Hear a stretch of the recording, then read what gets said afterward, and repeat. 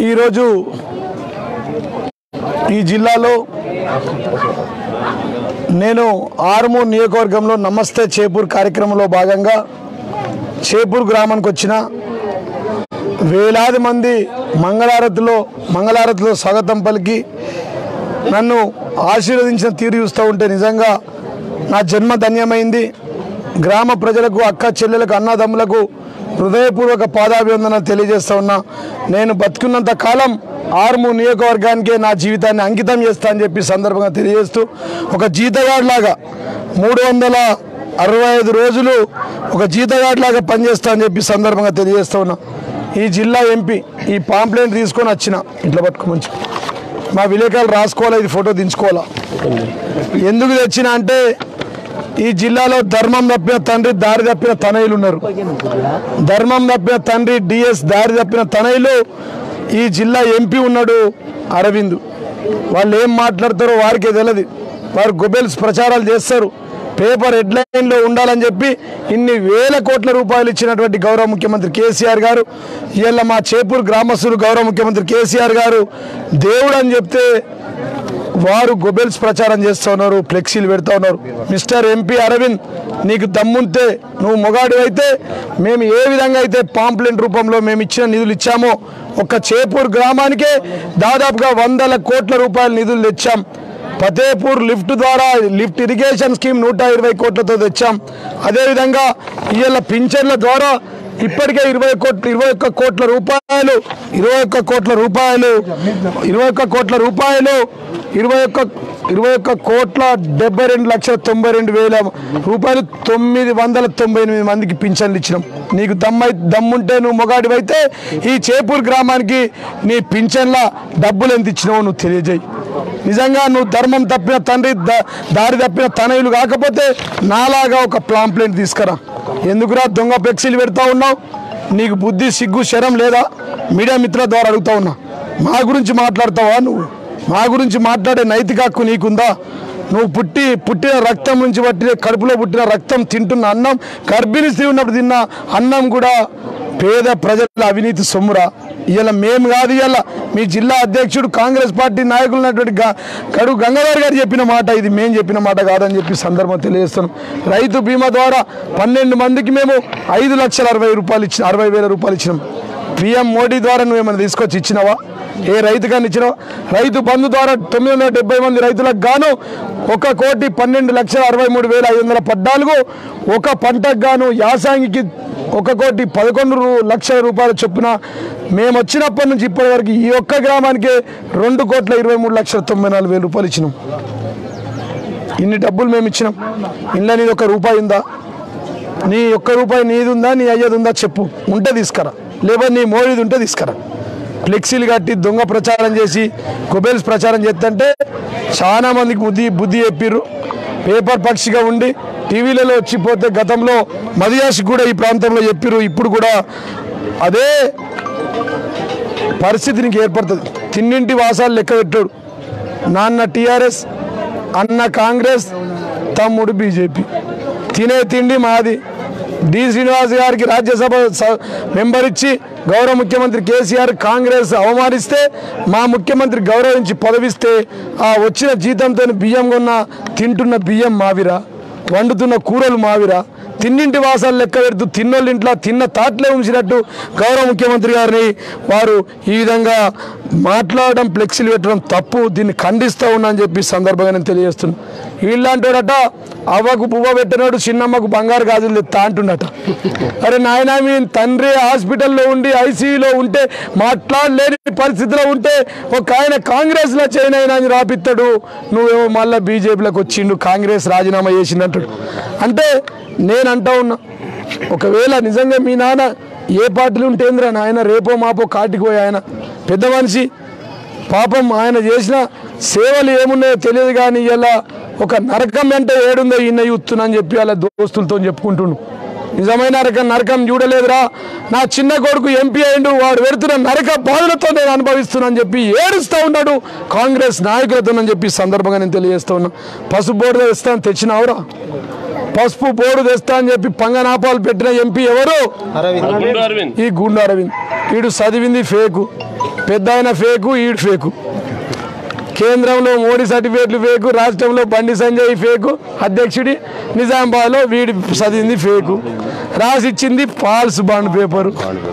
చదివింది fraud. Fake false fraud MP. అంటే నేను ఏమంటున్నా అంటే ఇన్ని కార్యక్రమాలు మేము చేస్తూ ఉంటే వీడు చేసేది కాంగ్రెస్ క్షుద్ర రాజకీయం. ఏం ఫ్యామిలీ మీది? ఒకే కొంపలో మూడు పార్టీలు. ఒక్కొక్క ఒకే కొంపలో మూడు కుంపట్లు. ఒకటే ఒకటే ఇంట్లో. తండ్రి ఒక పార్టీ కొడుకు ఒక పార్టీ అన్న ఒక పార్టీ.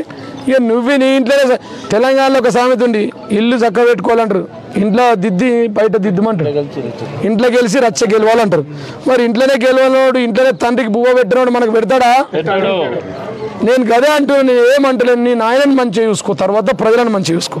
నువ్వు కన్న తండ్రినే బాబుని చూసుకోకపోతే ఇంతకుముందు ఆయన ఏ పార్టీ ఉంటే నాకేం సంబంధం అంటారు నేను వేరు డిఎస్ వేరు అని. తండ్రి వేరు కొడుకు వేరు అని ఉంటారా ఇది ఒక్కటి ఆలయ మీరు నేను- ఎక్కువ మాట్లాడా.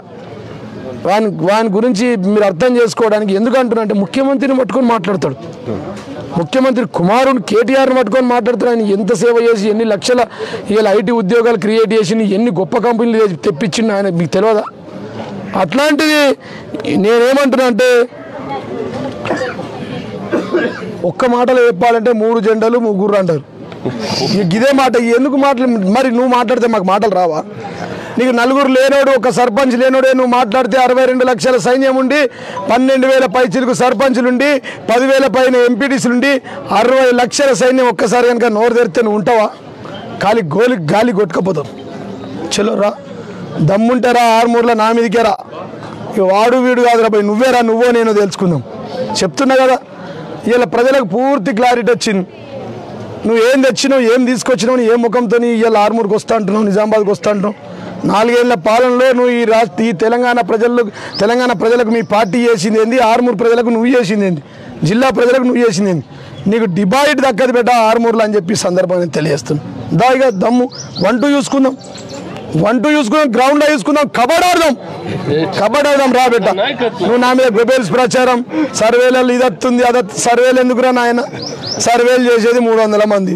నాకు రెండు లక్షల మంది నా ఎంబటి ఉన్నారు ఆ మూడు లక్షల మంది నీ మందిని అడిగిపించుకునవచ్చు. మరి సర్వేలు ఎందుకు వద్దా మరి తమ్ముంటే ప్రకటించు. ఊర్లు తిరుగు. ఊర్లలోకి రా. ఇలా చేపూరుకి వచ్చినా నువ్వు రేపు చేపూరుకి రా. చేపూరుకి వచ్చి ఏమి ఇచ్చినావో చెప్పు. నేను మళ్ళీ ఆర్మూర్లో పోతా నందిపేటలో పోతా మాగ్లూరులో పోతా. నేను ఏ గ్రామాలు తిరిగినా నువ్వు ఆ గ్రామానికి రా.